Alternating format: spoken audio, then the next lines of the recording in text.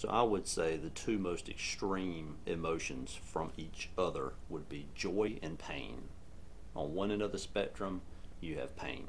On the other end of the spectrum, you have joy. At some point in time in your life, you are going to experience both. And sometimes it's going to be very close to each other. Sometimes you can experience joy right after a painful situation and vice versa. What you have to understand is that when you experience moments of dreaded pain, understand that the other end of that spectrum can be right around the corner. You can experience joy again. You have to have faith that you're going to experience joy and just know that there are better times to come.